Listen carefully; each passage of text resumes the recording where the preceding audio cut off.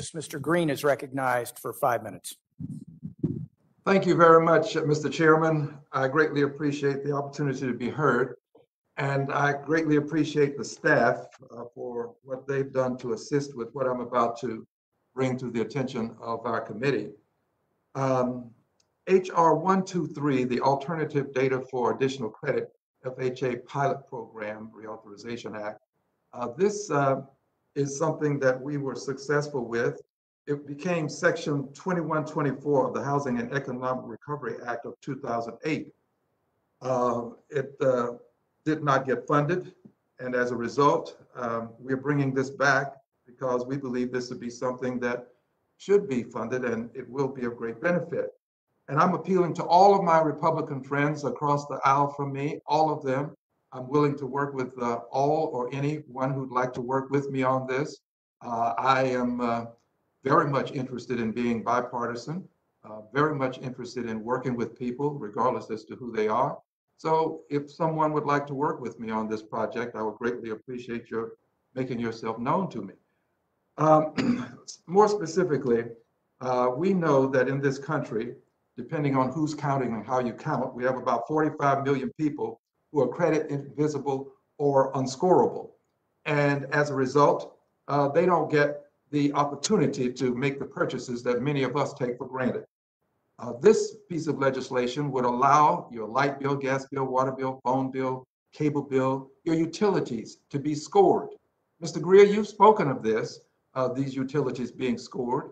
Uh, this bill allows you to opt in and score these utilities.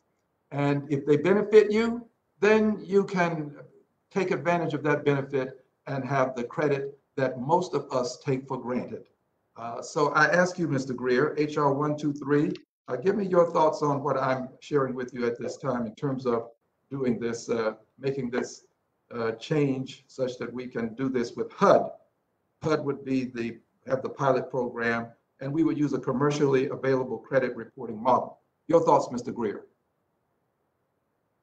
Thank you, Mr. Green, for um, raising that for your work on this um, that this important issue. I say one, you you you emphasize the importance of opting in. I think that's a big um, important point, and that consumers should have the choice around what data is being used to um, assess their their credit score. The second point on that that I'd like to make is, you know, a lot of this conversation about alternative data. It's already a part of the system. It's just that the negative stuff is what is being reported. Um, if you don't pay your utility bill, it gets reported. If you don't pay your cell phone bill, it gets reported. So what, what I'd like to see is if we're going to use alternative data, let's make sure that we're bringing in the positive payments. Because, you know, if I miss a payment on my um, utility bill or my utility gets cut off, I'm going to get dinged for that. But what's not going to show up is the many months beforehand that I paid my utility bill on time. And I think that it's important, one, that we opt in and that we make sure that we're reporting the positive activity that is happening with people as in addition to the negative activity that's already being reported. And let me add something. Um, we would also uh, want to make sure that people understand that this is additional credit, not just alternative, meaning we'll take this in lieu of other things. Uh, this is additional credit that can be added to your credit score to help you.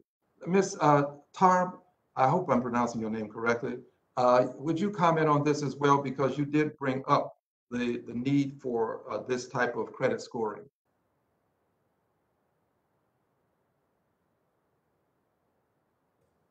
Oh, is this heard? a credit? This is a question for me? Yes, ma'am. Alternative data. Yes, I think it's important that consumers be able to opt in to using alternative types of data, as Mr. Greer said. I also think that a public credit registry could look into which types of data it's inappropriate to include. For example, medical debt has been shown, and we should do more studies to show this more conclusively, not to be predictive of people's ability to pay other types of debt. When someone takes on a mortgage or a credit card, they have a chance to think about what are the terms? Do I want to take on this debt? When you are sick or your child is sick and needs medical care, needs to go into the hospital, you don't know how much it's going to cost. You may not care how much it's going to cost at that point. You just want your loved one to get the care they need and be okay. And then you're saddled with hundreds, thousands, maybe even millions of dollars in medical debt. Uh, My that go time is on your a- about to expire. Ma'am, let me just ask you, uh, you. without question, reservation, or hesitation, you do agree that additional credit scoring is important, uh, what you're calling alternative credit scoring? Yes, I think we need to look at different things that should be included and excluded from credit scores to make them more fair and predictive. All right, well, thank you very much. I yield back the balance of my time. I believe my time is uh, over. Gentleman's Thank you, Mr. time has expired and he yields back. Gentleman from Missouri, Mr. Luetkemeyer, is now recognized for five minutes. Thank you, Mr. Chairman.